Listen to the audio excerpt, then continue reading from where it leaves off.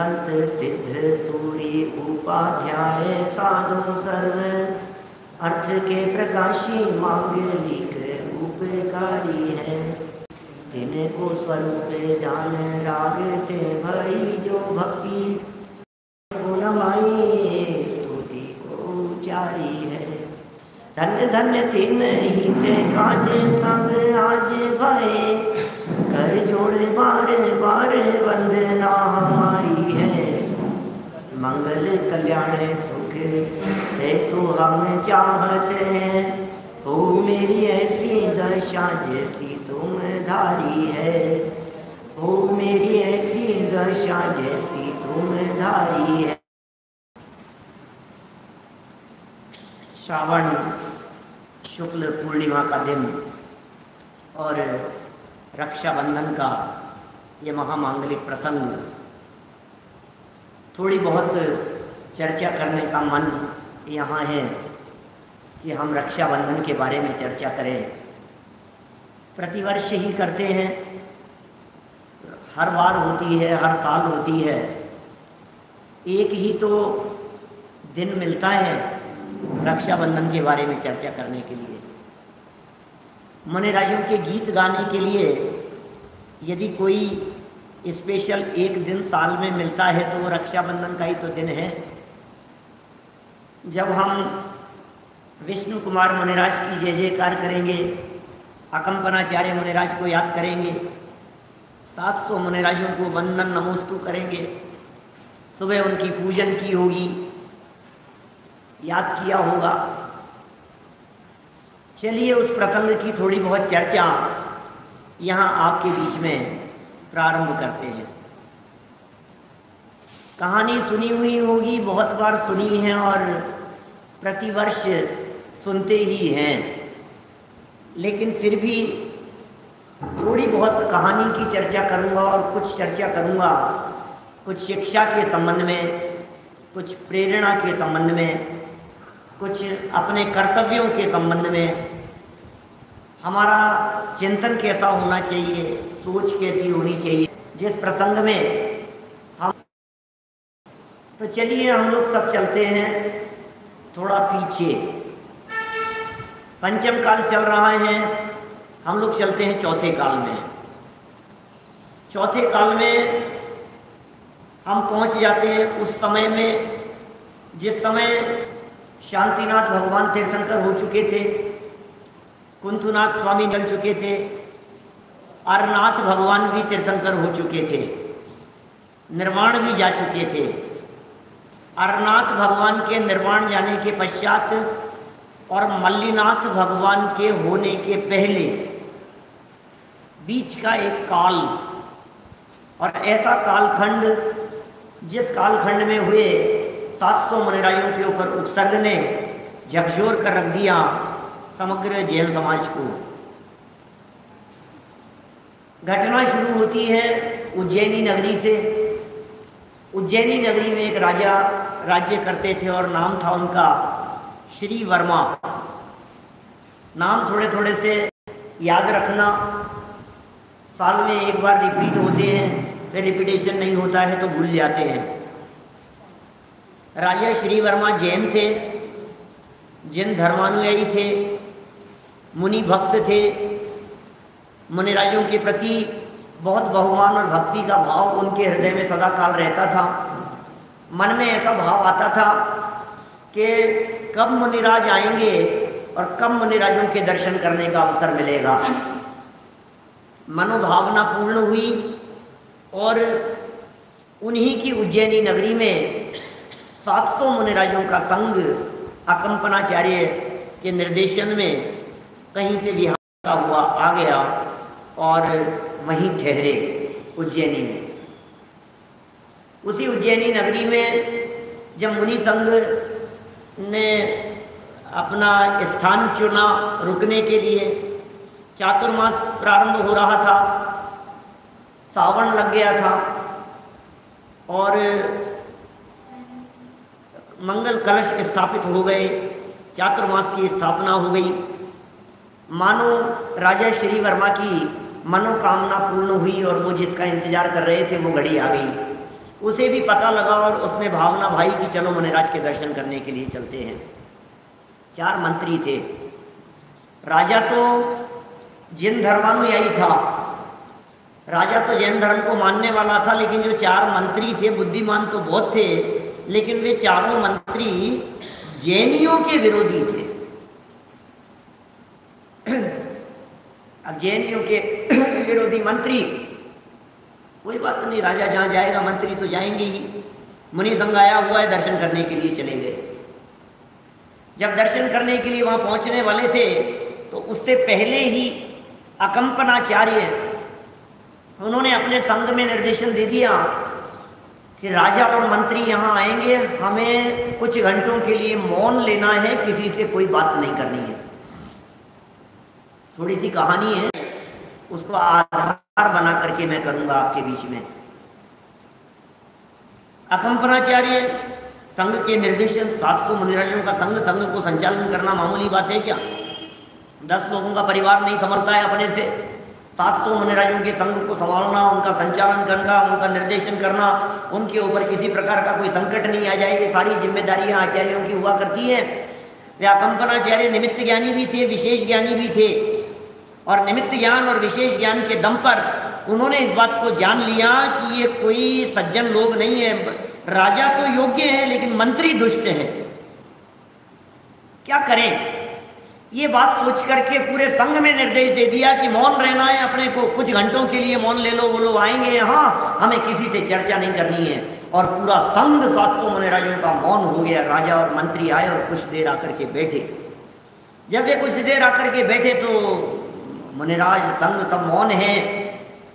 बोलना, राजा कुछ पूछने लगे, वंदन करने लगे, कोई जवाब नहीं, कोई रिएक्शन नहीं। स्वरूप में गुप्त रहने वाले मुनिराजों को किससे क्या प्रयोजन? अरे राजा, महाराजा, न मालूम कौन कौन आ जाए, उससे क्या फ़र्क पड़ता है? राजाओं की परवाह नहीं किया करते।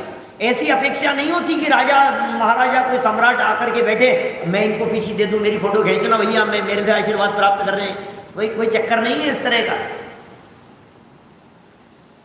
कुछ देर तो चलता रहा, फिर मंत्रियों ने छेड़ना चालू कर दिया राजा को। महाराज कुछ बोल ही नहीं रहे। बोलेंगे तो पता लगेगा कितना ज्ञान है। दुकान का ताला खुलता है तो पता लगता है अंदर माल क्या है। ये जवान नहीं बोलेगी तो कैसे पता लगेगा? अज्ञानी मौनम मूर्ख से आभूषणम और न मालूम क्या क्या उल्टी सीधी बातें। और राजा समझाने की चेष्टा करते रहे। नहीं नहीं, ऐसी बात नहीं है। नहीं, ऐसा नहीं अरे नहीं नहीं, तुम गलत समझ रहे हो। ऐसा नहीं ऐसा नहीं है। काफ़ी देर हो गई, आधा एक घंटा निकल गया, वे, चलो महाराज, चलते हैं अपन, जाने लगे। रास्ते में जा रहे थे तो जाते हुए ही दूसरी तरफ़ से एक और मुनिराज आ रहे थे शायद एक मुनिराज और आ रहे थे सामने से। राजा और मंत्री, ये चारों जा रहे हैं, अपने राजमहल की तरफ़। रास्ते में एक मुनिराज आते हुए मिले। क्या नाम था उन मुनिराज का? श्रुत सागर। बहुत ज्ञानवान थे, धुरंधर थे, श्रुत के सागर थे। अद्भुत ज्ञान का क्षेपक्षम था। श्रुत आराधना बहुत की थी उन्होंने, इसलिए उनका नाम श्रुत सागर पड़ गया था। उपाधि थी श्रुत सागर। जब सामने से आते हुए देखा इन मुनिराज को और वो मंत्री इधर से आ रहे थे, मंत्रियों ने देख करके फिर राजा से कहना शुरू कर दिया, महाराज, ये देखो, एक और आ रहा है। उल्टे सीधे कमेंट्स करना शुरू कर दिया उन मुनिराज के बारे में। और ये बैल है और मालूम क्या है, मूर्ख है, और ये देखो, कुछ कुछ भी। श्रुतसागर मनराज से रहा नहीं गया और उन्होंने टोकना शुरू कर दिया, बात करना शुरू कर दिया, शास्त्रार्थ हो गया, वाद विवाद हो गया, और श्रुत सागर मनराज ने उन चारों मंत्री जो अपने आप को बहुत बुद्धिमान समझते थे, एक के बाद एक उनकी बात को काटना शुरू कर दिया। उनकी बातें कटती रही और वे शर्मसार हो गए, बेइज्जत हो गए। चले गए। छोटा सा मुँह लेकर के चले गए। निरुत्तर हो गए, उनके पास में कोई जवाब नहीं रहा। और श्रुत सागर मुनिराज अपने संघ की तरफ़ आ गए। इनको पता नहीं था कि मौन रहना है। इन्हें मालूम नहीं था कि आचार्य श्री ने कुछ आदेश दिया है।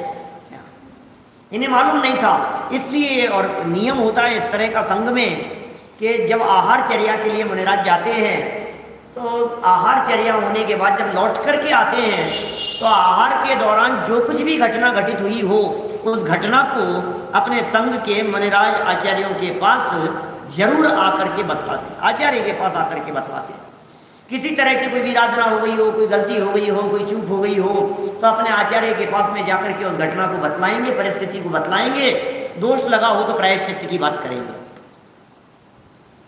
देखिए आप श्रुत सागर मुनिराज बता रहे हैं। अपनी घटना बतला रहे हैं। उन्हें पता नहीं था कि मौन का आदेश दिया था। घटना बतला रहे हैं। ऐसा ऐसा हुआ। मंत्री आ गए, राजा आ गए थे।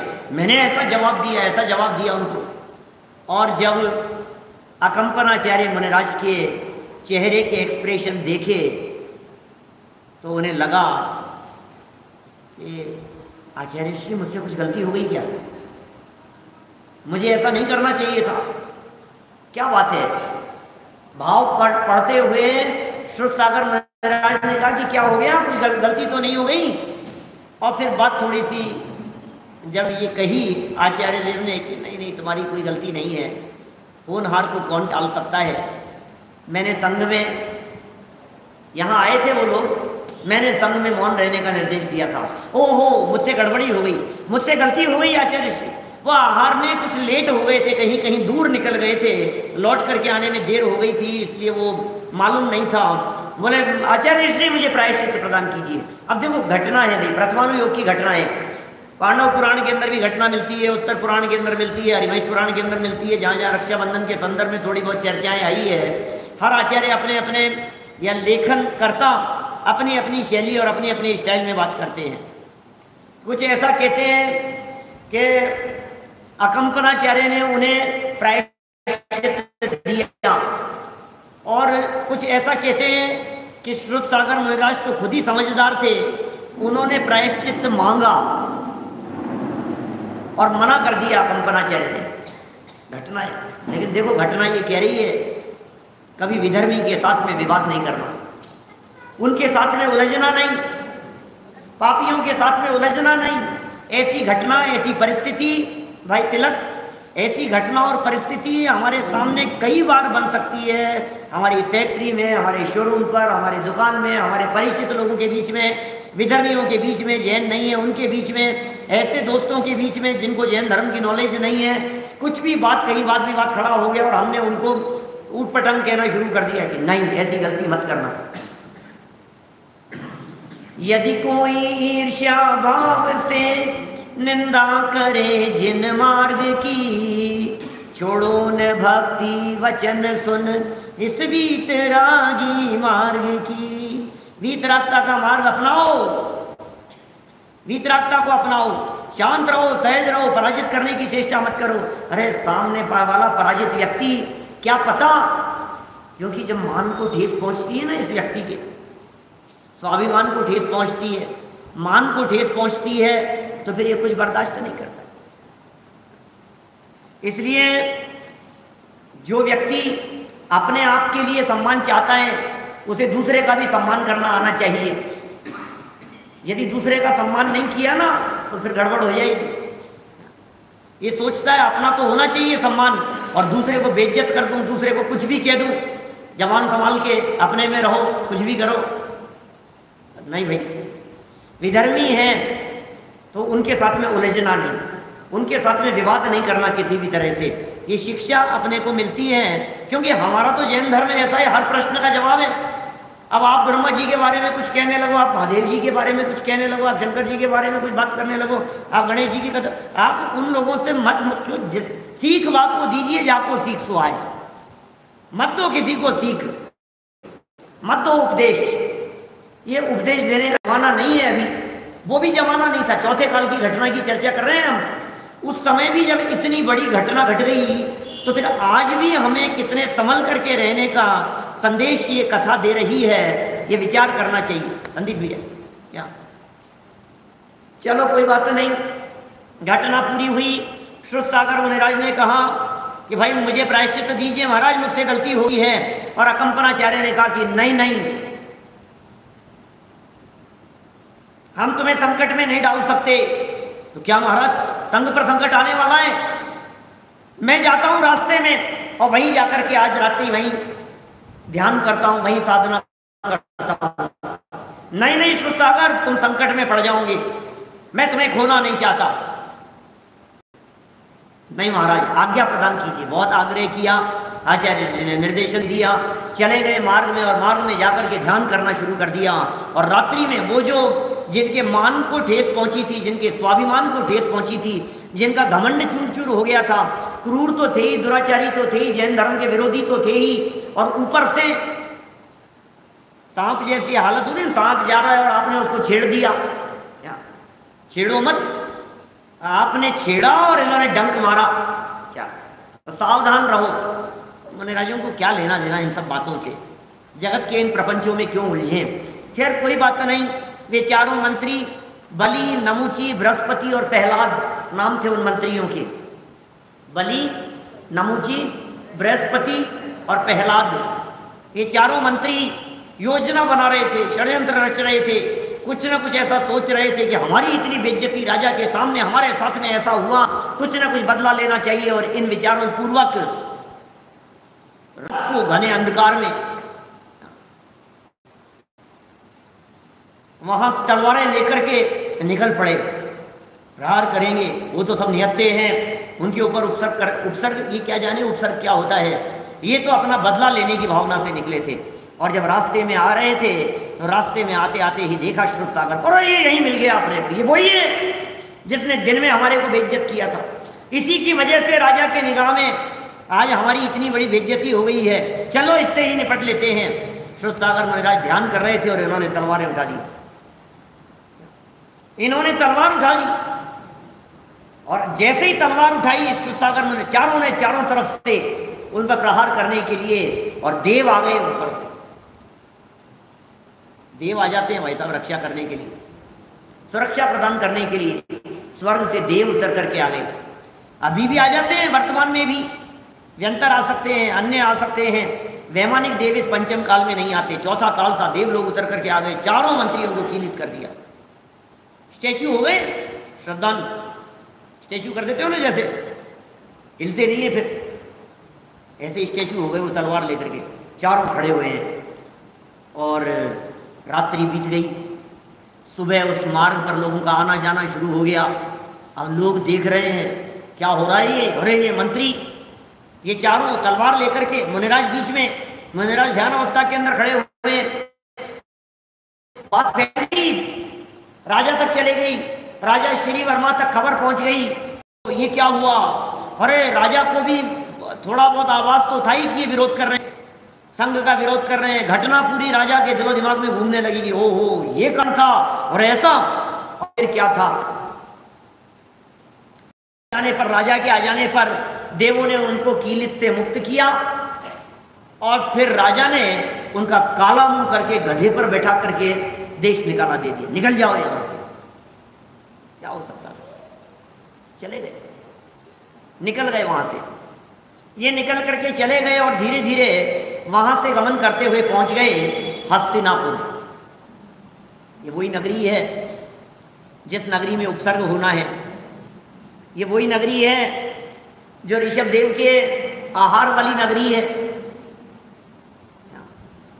राजा श्रेयांश के द्वारा ऋषभ देव स्वामी को प्रथम आहार जहाँ हुआ था, हस्तिनापुर में। ये वही नगरी है जहाँ शांतिनाथ आदि तीर्थंकर हुए थे। उनके कई कल्याणक बनाए गए थे। अब देखिए, ये वहाँ पहुँचे, बुद्धिमान तो थे ही। और किसी प्रसंग में राजा का दिल जीत लिया। किसी प्रसंग में क्या बताऊँ आपको? शांतिनाथ स्वामी देखो, पंचमे चक्रवर्ती थे ना? अपन बोलते हैं शांति विधान में, शांतिनाथ पंचम चक्रीश्वर, द्वादश काम सुदेवा। शांतिनाथ पाँचवें चक्रवर्ती। कुंतुनाथ कौन से नंबर के चक्रवर्ती थे? छठे। अरनाथ कौन से नंबर के चक्रवर्ती थे? सातवें नंबर के। आठवें नंबर के चक्रवर्ती थे सुभोम चक्रवर्ती। और नौवें नंबर के चक्रवर्ती थे महापद्म। महापद्म नौवें चक्रवर्ती थे। मेघरथ भी नाम था उनका नौवें चक्रवर्ती। उनके बेटे थे दो एक पद्मराय और दूसरे विष्णु कुमार चक्रवर्ती के बेटे। महापद्म नाम के नौवें चक्रवर्ती और महापद्म नाम के नौवें चक्रवर्ती के दो बेटे अब चक्रवर्ती तो चले गए और उनके जो दो बेटे थे विष्णु कुमार तो दीक्षित हो गए और राजा कर, राज्य करते थे पद्मराय। हस्तिनापुर के राजा थे पद्मराय। ये पद्मराय जो राजा थे, इन राजा के आसपास में वहाँ नौकरी और दर्द तलाश में पहुँचे, वहाँ कि कहीं कोई नौकरी मिल जाएगी, बुद्धिमान तो थे ही। और इतने में उस राजा पद्मराय के ऊपर पड़ोस देश का जो राजा था, सिंहरथ, उसने आक्रमण कर दिया था। तो इन चारों मंत्रियों ने बुद्धिमत्ता से, सिंहरथ से इसको बचा लिया, पद्मराय को। अब राजा पद्मराय बच गए, जिन्होंने बचाया था उनसे बहुत खुश हो गए। मालूम चला वो बहुत योग्यता है। मंत्री बना दिया उनको। कहा कि भाई, मांगो तुम्हें क्या मांगना? है तुम्हारी वजह से मेरी जान बची है। तुम्हारी वजह से मेरा राज्य बचा है। मांगो क्या मांगना है? षड्यंत्रकारी थे। मांगने से मना कर दिया। नहीं। समय आने पर मांग लेंगे। अभी ज़रूरत नहीं है हमारे हमें क्या ज़रूरत है? मंत्री आपने बनाई थी, नहीं, मांगो, क्या मांगना है तुम्हारे को? नहीं नहीं, समय आने पर मांग लेंगे। अब देखो आप, समय आने पर इन्होंने क्या मांगा और क्या घटना घटी? पूर्व में थोड़ी बहुत सुनी है आप लोगों ने, लेकिन ये घटना और ये प्रसंग हमारे को शिक्षा दे रहा है कि जब आप बहुत ज़्यादा प्रसन्न हो तो किसी को वरदान नहीं देना, वचन नहीं देना। खुशी में किसी को वचन नहीं दिया जाता। मैं बहुत खुश हूँ, मांग क्या मांग रहा है? नहीं नहीं नहीं। सामने वाला पता नहीं उसका क्या दुरुपयोग करेगा। जब आप बहुत ज़्यादा प्रसन्न हैं तो वचन नहीं देवे। और दूसरी बात, ध्यान रखना, जब आप बहुत ज़्यादा गुस्से में हैं, तब किसी प्रकार का निर्णय नहीं लेने। दो वाक्य याद रखना। क्या भाई हरियन जब बहुत प्रसन्न हैं आर्जव जब बहुत प्रसन्न हैं, उस समय में क्या करना है? वचन नहीं देना।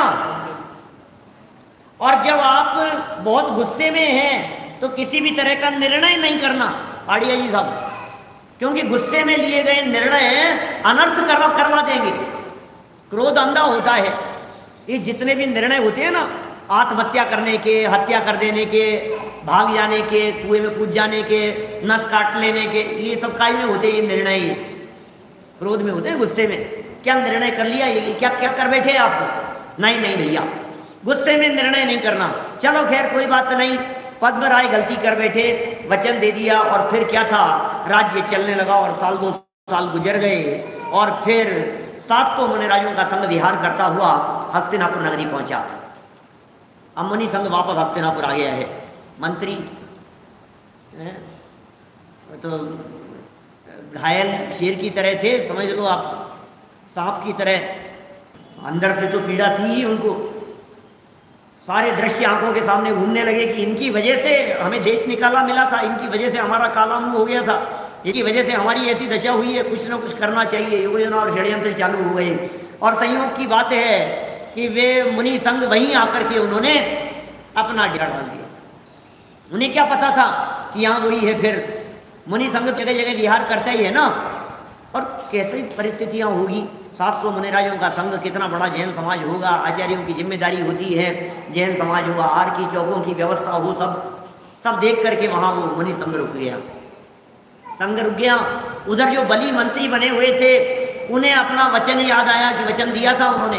वरदान मांगने के लिए कही थी, मांगो, क्या मांगते हो? अब ये समय आ गया है।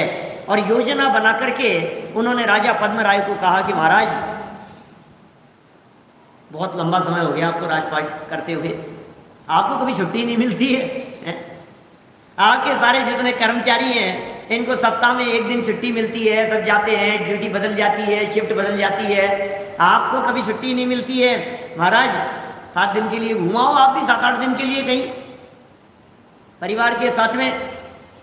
और हम ये चाहते हैं कि सात आठ दिन के लिए हम भी राज्य करके देख ले, कैसा होता है, क्या होता है। आपने वचन दिया था, पहले वचन की कही थी देख लो, आप यदि आठ दिन के लिए चले जाओ और आठ दिन का राज्य हमें दे जाओ। ठीक है, कोई बात आठ दिन का राज्य दे दिया। किसको? बलि को। अब बलि राजा हो गए। अब राजा होने के बाद में बलि ने उपसर्ग करना शुरू कर दिया। पद्मराय तो चले गए। पद्म राय तो राजा बचे नहीं। और बली राजा हो गया। अब बली राजा हो गया तो इस राजा बली ने 700 मुनिराजों के ऊपर कैसे घोर उपसर्ग किए? शायद जहाँ बैठे हुए हैं सब सात सौ मुनिराज चारों तरफ़ घास लगा दी। घास पे चलते नहीं है मुनिराज ये ध्यान में बैठे हुए हैं। फिर आग लगा दी उनमें।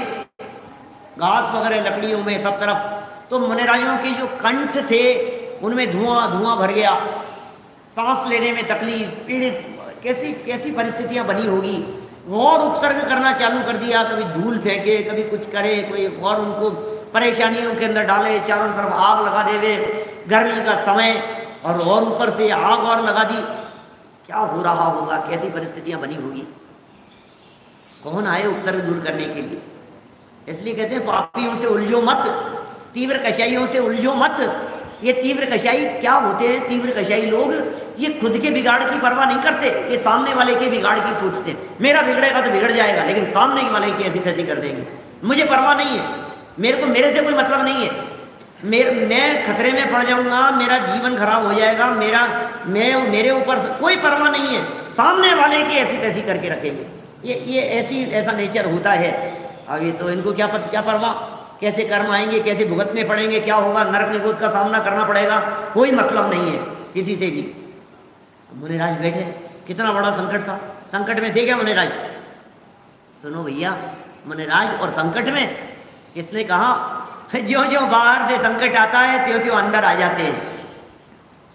बाहर में जैसे जैसे संकट आता हुआ दिखाई देता है, उनकी परिणति, उनका उपयोग, उनके अंदर में चला जाता है।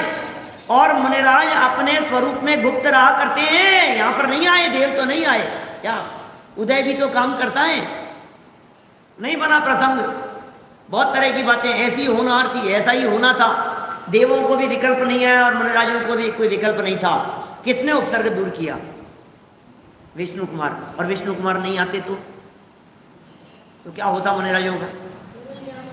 है? सात सौ में से कितने को केवल ज्ञान हो जाता? ध्यान में? मैं आपसे पूछता हूँ गज कुमार मुनिराज का उपसर्ग किसने दूर किया था? गज कुमार मुनिराज का उपसर्ग किसने दूर किया? किसी ने नहीं। पांडव मुनिराजों का उपसर्ग किसने दूर किया? किसी ने नहीं। सुकौशल मुनिराज का उपसर्ग किसने दूर किया? सुकुमार मुनिराज का उपसर्ग किसने दूर किया? तो कहीं पढ़े नहीं हमने तो। अरे कौन उपसर्ग दूर करे? उपसर्ग दूर करने वाला कोई नहीं था। उपयोग अंदर में गया और केवल ज्ञान ले लिया। अंत्यकृत केवली हो गए गजकुमार मुनिराज, पांडव मुनिराज, युधिष्ठिर, भीम, अर्जुन, ये केवल ज्ञान की प्राप्ति हुई इनको। सिद्धालय में जाकर के विराजमान हुए, भगवान बन गए। कहाँ ज़रूरत है कोई उपसर्ग दूर करने वाला हो? अरे मुनिराज तो अपनी परिणति और अपने उपयोग के माध्यम से स्वयं स्वयं में ही सुरक्षित रहते हैं। उन्हें किसी और सहयोग करने वाले की ज़रूरत नहीं होती। ज़रूरत किसकी ज़रूरत है? किससे क्या, क्या किसकी ज़रूरत है? क्यों ज़रूरत है? असली उप, उपसर्ग तो अपनी परिणति विकृत होने का नाम है। असली उपसर्ग तो अपने परिणाम बिगड़ने का नाम है। असली उपसर्ग तो उपसर्ग की तरफ़ लक्ष्य जाने का नाम है। अरे उपसर्ग के काल में उपसर्ग को दूर करने का विकल्प भी जिन्हें नहीं आता है, वे मनराज तो अपने स्वरूप में ही सदा गुप्त रहा कर निकले और संकटों का सिलसिला शुरू हो गया और अपने अंदर आ गए। अब कोई संकट नहीं संकट नहीं होते। मुनिराजों के ऊपर संकट नहीं होते। लेकिन फिर भी मुनिराजों के ऊपर यदि किसी प्रकार का कोई संकट हो रहा हो तो उसे दूर करने की ज़िम्मेदारी होती है श्रावकों की। ये श्रावकों की जवाबदारी है श्रावकों की ज़िम्मेदारी है। मुनिराज मुनिराज के संकटों को दूर करे, कदाचित कर भी सकते हैं और क्यों करें? नहीं आए, विकल्प तो नहीं भी करें।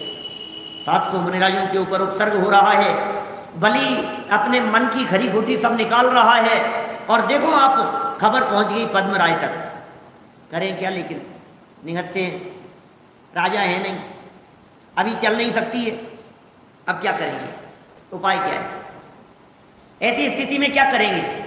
वो पद्म राय जो थे, उन्हें कुछ सूझा नहीं, कुछ याद नहीं आई, कुछ समझ में नहीं आया कि क्या करूँ मैं, कुछ समझ में नहीं आ रहा है। कैसे उपसर्ग दूर करूँ? और वो पद्म राय राजा को ध्यान आया कि मुनिराजों पर उपसर्ग है, और मेरे भाई विष्णु कुमार, दोनों महापद्म के बेटे थे नहीं मेघरथ के बेटे थे दोनों। और उनसे कुछ चर्चा कर सकते हैं। तो उनके बारे में जानकारी लेने के लिए वो बड़े और उनके संघ के आचार्य मिले। उन्हें पूरी घटना सुनाई। तो आचार्य ने कहा, कि अरे, वो निमित्त ज्ञानी थे। उन्होंने अपने ज्ञान से जाना। उपसर्ग कैसे दूर होगा तो पता लगा कि अरे तो विष्णु कुमार है, उनके पास में विक्रिया रिद्धि है। जहाँ संदेश भेज दिया विष्णु कुमार के पास में। और पुष्पदंत नाम के एक शुल्लक जी को वहाँ भेजा। उत्तर पुराण कह रहा है हरिवंश पुराण अलग कह रहा है, उत्तर पुराण अलग कह रहा है, कथाएँ अलग अलग तरह से कथानक है प्रथमानुयोग के। एक पुराण ये कह रहा है कि हरिवंश पुराण तो ये कह रहा है, दीक्षा छेदन की ज़रूरत नहीं है। लेकिन उत्तर पुराण ये कहता है कि मुनि अवस्था के अंदर इस तरह का कार्य नहीं किया जा सकता। तो उत्तर पुराण का में जब ये बात आई, और हकीकत तो क्या हुई होगी, उनकी मनोदशा क्या हुई होगी, जब आकर के कहा कि तुम्हें विक्रिया रिद्धि प्राप्त है और तुम उपसर्ग दूर कर सकते हो। बोला नहीं मेरा काम नहीं मैं, मैं काम मैं अपने साधना छोड़ करके आराधना छोड़ करके मुनि पद में ये काम कैसे करूँगा मैं? नहीं हो सकता मुझे कोई रिद्धि विद्धि नहीं है। मुझे कहा रिद्धि है? तुम्हें तुम्हें किसने कह दिया? नहीं है महाराज। वो शुल्लक जी कह रहे हैं मेरे को आचार्य श्री ने संदेश भेजा है आपके पास में रिद्धि है आप देखो और हाथ ऊपर किया और हाथ चला गया। विक्रिया रिद्धि क्या होती है? विक्रिया रिद्धि ग्यारह भेद विक्रिया रिद्धि के। चौसठ रिद्धियों में एक विक्रिया नाम की रिद्धि है। एक नहीं है, उस विक्रिया रिद्धि के ग्यारह भेद है। बुद्धि रिद्धि के अठारह भेद है सबके अलग अलग भेद है। आठ के चौसठ बन जाते हैं। तो कई तरह की होती है। अणिमा, जो महिमा और लघिमा, ये जो बोलते हैं ना अपन सुबह, पूजन के पहले, ये सब यही रिद्धियाँ हैं। अणु बराबर बना ले वे विशाल बना ले वे छोटा बना ले वे बड़ा बना ले वे ऐसा, और पता लग गया विक्रिया रिद्धि है। फिर क्या हुआ? फिर भेष इनको बदलना पड़ा, योजना बनाई, षड्यंत्र बनाया, मायाचार करना पड़ा। मुनि भूमिका की योग्य आचरण नहीं दिखाई दे रहा था, लेकिन क्या करें, परिस्थिति बन गई, फिर करुणा का भाव आ गया। रत्नग्रहण श्रावकाचार कह रहा है, विष्णु कुमार मुनिराज वात्सल्य अंग में प्रसिद्ध हुए, और फिर बावन्य का रूप बना लिया। बावन्य का रूप बना यदि आता है दान मांगने के लिए और ऐसे खाली हाथ कैसे चला जाए? मांग क्या माँगता है, क्या मांगना है तुझे? महाराज, तीन पाँव ज़मीन, हंसने लगा तीन पाँव ज़मीन, इतना सा छोटा सा इतनी सी साइज़ और तीन पाँव ज़मीन मांग रहा है? ये क्या है? ले ले। क्या तुझे ले ली। तीन पाँव ज़मीन और जैसे ही कहा कि ले लो, और फिर विष्णु कुमार स्वामी ने, जो कि ब्राह्मण का वेश बना करके आए थे, ये विशाल रूप बना लिया। मानो इतना विशाल रूप बन गया हो कि वो सूर्य चंद्रमा तक पहुँच गए, ज्योतिष देवों तक पहुँच गए। एक पाँव उन्होंने उधर मेरू पर्वत पर रख लिया, दूसरा मानुष उत्तर तक चला गया। ओहो, कितना विशाल रूप हो गया है। और अब तीसरा पाँव कहाँ रख और उसके माथे पर, और वो रोने लगा, गिड़गिड़ाने लगा, हाथ पाँव जोड़ने लगा, बचाओ, और फिर पाँव रखा, जो भी रहा हो, वो मर करके बलि तो नरक में चला गया, और मुनिराजों का उपसर्ग दूर हुआ। सात सौ मुनिराजों का उपसर्ग दूर हुआ, और ये दिन था। कौन सा? सावन शुक्ल पूर्णिमा का दिन। और इस तरह सात सौ मुनिराजों का उपसर्ग दूर हुआ। मुनिराजों की रक्षा हुई और बलि का हुआ बंधन। इस तरह से ये नाम पड़ गया रक्षा बंधन। तीन तरह से मैं रक्षाबंधन के अर्थ करता हूँ। रक्षाबंधन के। वास्तव में रक्षाबंधन पर यहाँ किसी भी पुराण में कहीं भी प्राचीन ग्रंथ में उपलब्ध नहीं होता। रक्षाबंधन शब्द ही नहीं है। जैनियों का शब्द ही नहीं है, जैन आगम का शब्द ही नहीं है रक्षाबंधन। कहीं शास्त्रों में रक्षाबंधन मिल ही नहीं रहा है। क्या संदीप भैया? कहीं रक्षाबंधन नहीं है। रक्षाबंधन पर्व रक्षाबंधन पर्व रक्षाबंधन पर्व है ही नहीं कहीं भी। एक नाम मिलता है वात्सल्य पर्व। वात्सल्य पर्व मनाया गया।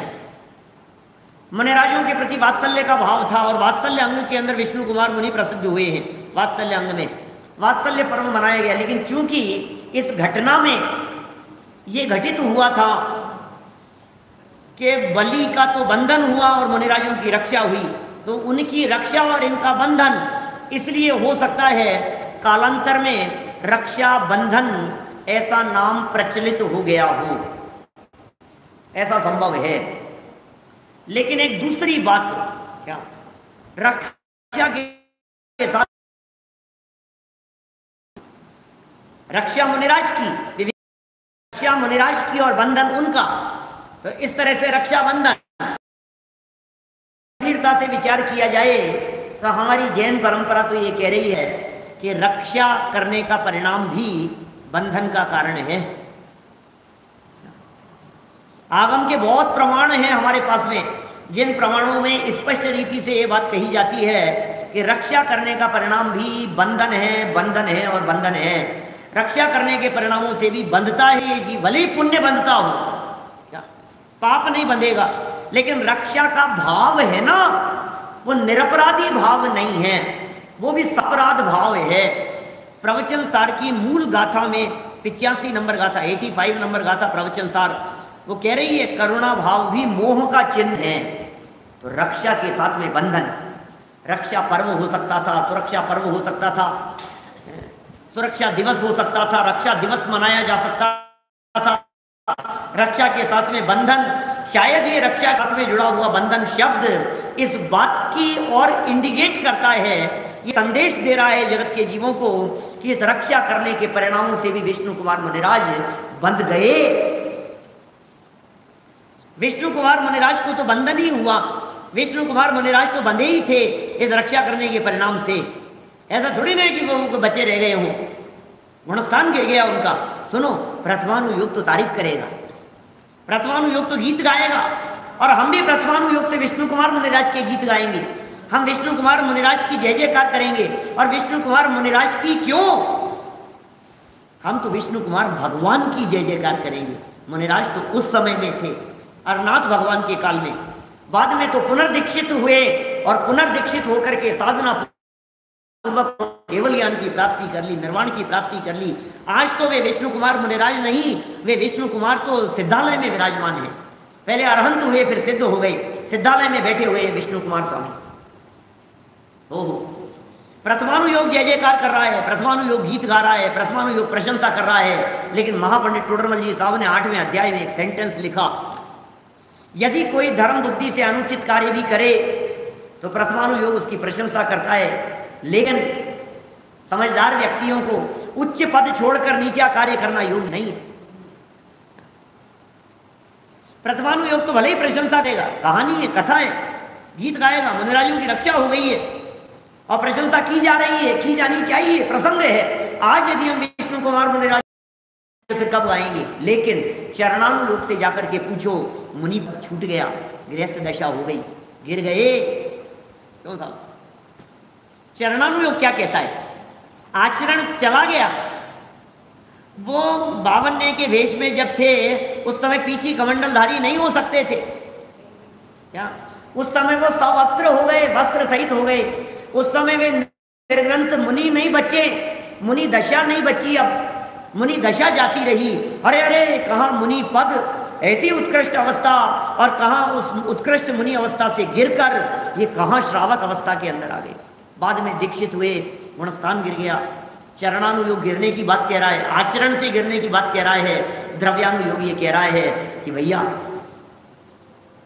परिणाम अच्छे नहीं षड्यंत्र के परिणाम, ये अच्छे परिणाम है।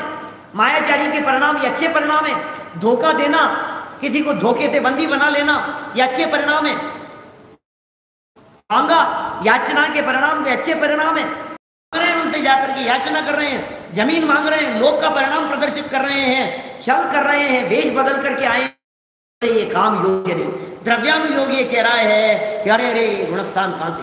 कर्णानुयोग गुणस्थान गिरने की बात कहेगा और द्रव्यानुयोग ये कहेगा कि अरे क्या कहेगा तीन कषाय चौकड़ी के अभाव जन्य शुद्ध परिणति, शुद्धोपयोग जो कायम था छठे सातवें गुणस्थान की भूमिका में, आज वो दशा नहीं। आज वो पूज्यता नहीं बची कुछ समय के लिए ही सही, लेकिन मुनि पद तो छूट गया है। तीन अनुयोग निषेध कर रहे हैं, तीन अनुयोग बुराई कर रहे हैं, तीन अनुयोग अलग अलग अनुयोग है, कथन की शैली है। सब अपने अपने स्टाइल में बात करते हैं। प्रथमानुयोग अपने स्टाइल में बात करता है, चरणानुयोग अपनी स्टाइल में बात करता है। द्रव्यानुयोग अपनी स्टाइल में बात करता है कर्णानुयोग अपनी स्टाइल में बात करता है। सबकी बात करने की स्टाइल अपनी अपनी है। अपनी अपनी स्टाइल में बात करते हैं सब। कर्मानुयोग क्या कह रहा है? भाई नयन कर्णानुयोगी कह रहा है, गुणस्थान छठा सातवां नहीं रह सकता कपड़े पहने हुए।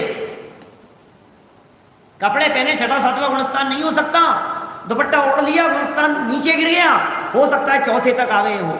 हम नहीं कहते कि मिथ्या दृष्टि हो गए होंगे, लेकिन चौथे तक तो उतर गए।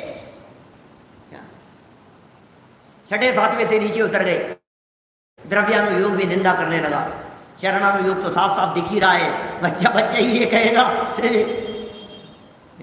आज अपन नहीं देखते हैं दुनिया भर में कैसी स्थितियाँ। कपड़े पहन लिए, कपड़े पहन मतलब अब अब वो दशा नहीं है। कपड़े पहने वाली जो दशा है, वो मुनि दशा जैसी नहीं हो सकती है। खैर चलिए, जो कुछ भी हो, ये दूसरे प्रकार की बात हुई। दूसरे प्रकार का अर्थ हुआ कि रक्षा करने के परिणामों से बंधन। पहला अर्थ क्या किया था? पहला अर्थ क्या किया था? सात सौ मुनिराजों की रक्षा और बलि का बंधन, रक्षा बंधन। दूसरा अर्थ क्या किया? रक्षा करने का भाव भी कर्म बंधन का कारण है। तो रक्षा के भाव से भी बंध जाओगे, इसलिए न हिंसा का भाव हो, न रक्षा का भाव हो, वीतराग भाव हो अपने में मग्न रहने वाला, उससे बंधन नहीं होता। दो अर्थ हो गए। अब तीसरा अर्थ, रक्षा बंधन। बंधन कहते हैं नियम को, बंधन कहते हैं प्रतिज्ञा को, प्रतिज्ञा में बंध जाने को। मानो ये रक्षाबंधन पर्व, ये संकल्प दे रहा है कि आप रक्षा करने के लिए प्रतिबद्ध हो जाएँ। आप ये प्रतिज्ञा लेवें कि कभी धर्म और धर्मायतनों के ऊपर किसी प्रकार का उपसर्ग आएगा तो हम उनकी रक्षा की प्रतिज्ञा लेते कैसे कैसे रक्षाबंधन ये बात? कौन दूर करेगा? मुनिराजों के उपसर्ग को कौन दूर करेगा? श्रावक नहीं करेंगे तो कौन करेगा? हम नहीं करेंगे तो कौन करेगा? क्या ये रक्षा का संकल्प लेने का पर्व नहीं है? क्या रक्षा की भावना भाने का पर्व नहीं है? क्या हमारे जिन मंदिर के ऊपर संकट आएगा और हम देखते रहेंगे? हमारे धर्मायतनों के ऊपर संकट आएगा और हम देखते रहेंगे? हमारे देव शास्त्र गुरु के ऊपर संकट आएगा और आँखें बंद करके चुपचाप बैठे रहेंगे। हाँ कोई बात नहीं, कोई बात नहीं। कोई मूर्ति खंडित करने के लिए आएगा और होने देंगे कि नहीं। प्राणों की कीमत पर भी देवगुरु धर्म की सुरक्षा की ज़िम्मेदारी हमारी है। अकेले देवगुरु धर्म ही नहीं, छह आयतनों की सुरक्षा की, अनायतन नहीं। देव गुरु धर्म और देवगुरु धर्म के उपासक। देव के उपासक, गुरु के उपासक, धर्म के उपासक, उनकी भी रक्षा करने की जवाबदारी हमारी है।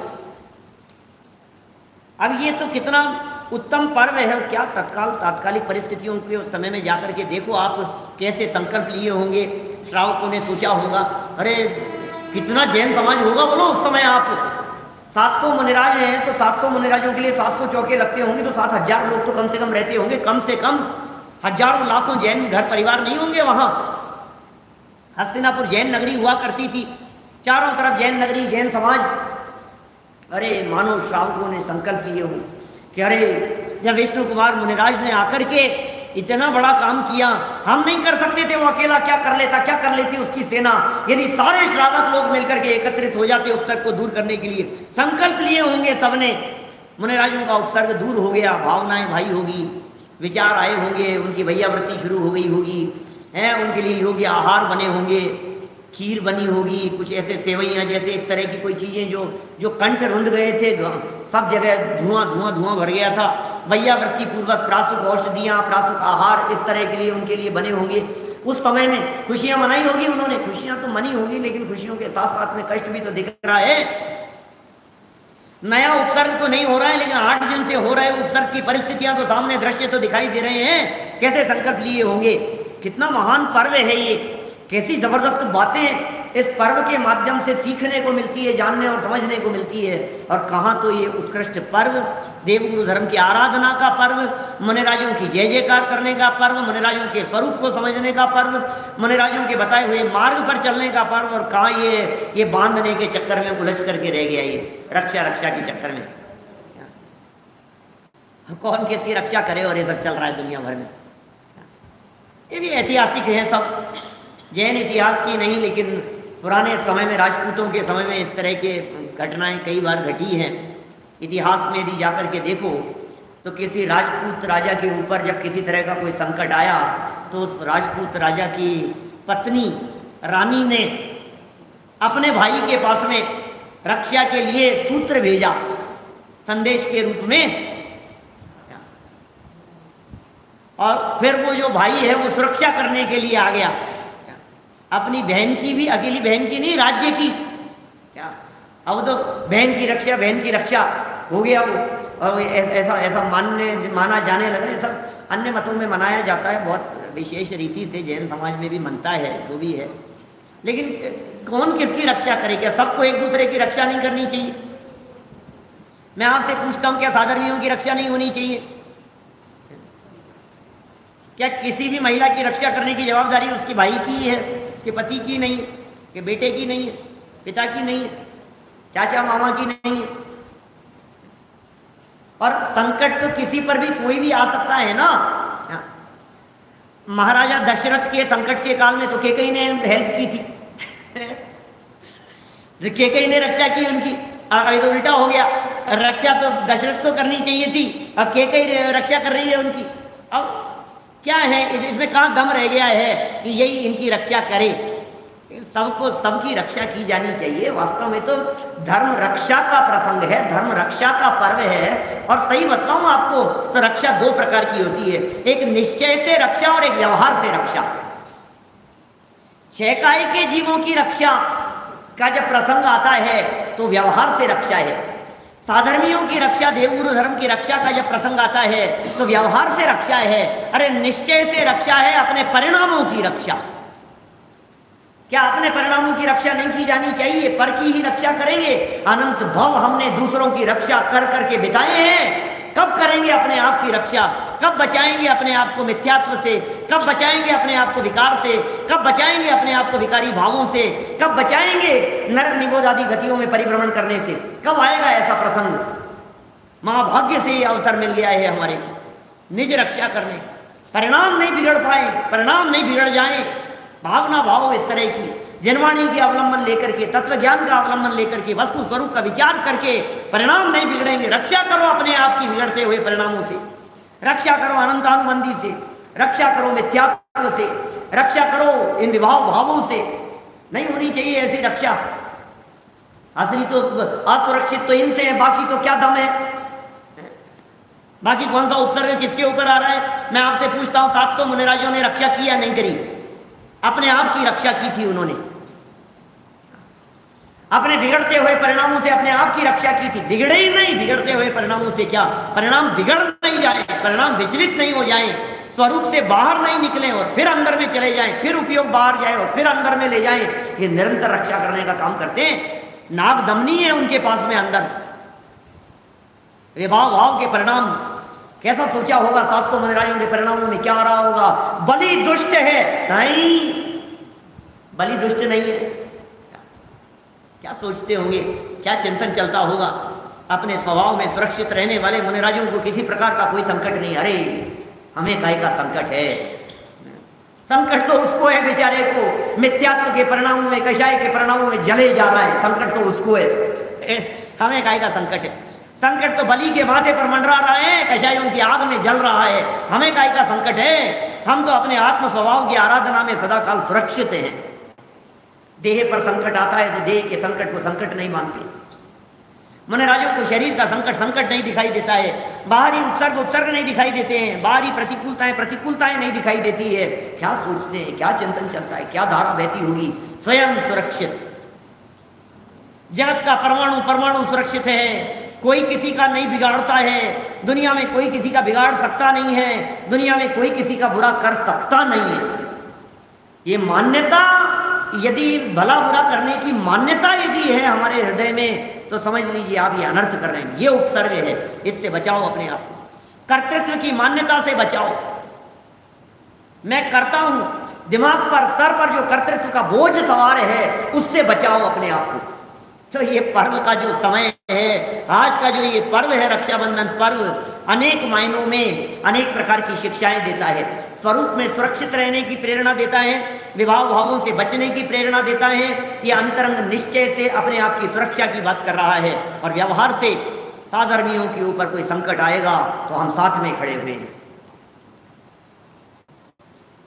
किसी भी तरह का, और देखो कई तरह के संकट आते हैं भाई साहब।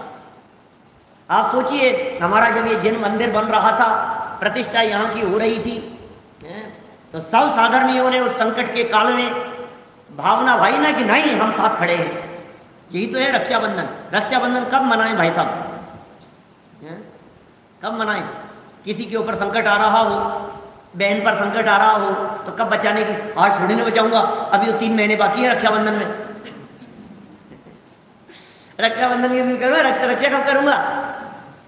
रक्षा कब की जाएगी? अरे बारह महीना मनाए जाने वाला पर्व है। ट्वेंटी फोर सेवन मनाया जाने वाला पर्व है ये। हमेशा होना चाहिए, ये हमेशा चलना चाहिए।